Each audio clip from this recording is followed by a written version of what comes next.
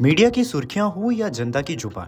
बिहार चर्चा में है। कारण, बिहार की राजनीति में नीतीश कुमार की खासियत और उनकी थ्री सी यानी क्राइम करप्शन और कम्युनिज्म के प्रति जोरदार ज़ीरो टॉलरेंस इसके साथ ही गठबंधन की राजनीति में उलटफेर भी एक कारण है। इसलिए खबरों की दुनिया में शायद ही ऐसा कोई नेता होगा जिसके पाला बदलने के नाम पर अखबारों में सुर्खियाँ ना हो। बिहार को एक बार फिर विशेष राज्य का दर्जा नहीं मिला है। ऐसे में एक बार फिर चर्चा तेज हो गई है कि नीतीश कुमार बहुत जल्द इंडिया गठबंधन का दामन थामेंगे। कांग्रेस के एक विधायक ने इस बार चर्चा को आग दे दी है, जिसके बाद से मामला चर्चा में है। दरअसल बक्सर के कांग्रेस विधायक संजय तिवारी और मुन्ना तिवारी का कहना है कि नाराज़ चल रहे नीतीश कुमार जल्दी एनडीए का दामन छोड़ेंगे और महागठबंधन में शामिल होंगे। यही ये दावा कई और राजनीतिक पार्टियों के नेता भी कर चुके हैं। उनकी नाराज़गी की बड़ी वजह उनके ड्रीम प्रोजेक्ट बिहार को विशेष राज्य का दर्जा नहीं मिलना है। मीडिया रिपोर्ट्स की माने तो मुन्ना तिवारी के अनुसार केंद्र सरकार का सीधे सीधे ना कहने के कारण नीतीश कुमार इतने नाराज़ हो गए हैं कि नीति आयोग की बैठक तक में नहीं गए। इस तरह की खबरें उठने के आधार में नीतीश कुमार स्वयं भी हैं। उनके साथ कार्य कर रहे राजनीतिक लोगों को भी पता नहीं चलता कि किस कारण से वो नाराज़ हो जाएँगे और खुश।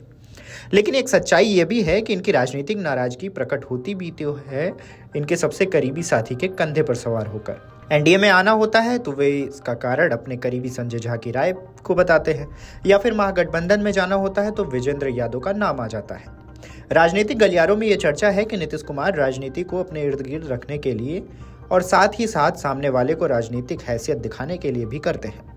और इसके लिए जिन दो शब्दों का सबसे ज़्यादा सहारा या कह सकते हैं कि राजनीतिक इस्तेमाल करते हैं, नीतीश कुमार ने किया है, वो शब्द है सांप्रदायिकता और जंगल राज जंगल राज क्या है? एनडीए के साथ, सांप्रदायिकता के आरोप के साथ, महागठबंधन के साथ राजनीतिक पैंग भरते रहे हैं।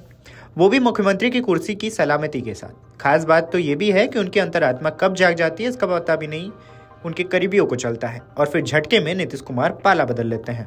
खैर, मुख्यमंत्री नीतीश कुमार को लेकर अक्सर गठबंधन बदलने की बात होती रही है तो इसकी वजह भी है। अतीत की घटना पर नज़र डालेंगे तो स्थिति स्पष्ट दिखेगी। वैसे वे बात बात पर नाराज़ हो जाते हैं, वैसे तुनक में जाग भी हैं और आत्मा की आवाज़ भी सुनते रहते हैं।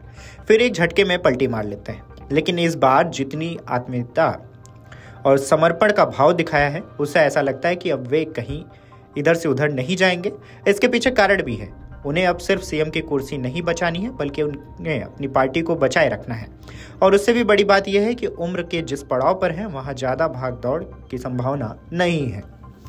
अगर आप ये वीडियो YouTube पर देख रहे हैं तो हमारे चैनल को सब्सक्राइब करें और बेल आइकन को दबाना ना भूलें। अगर आप Facebook पर यह वीडियो देख रहे हैं तो हमारे पेज को लाइक करें।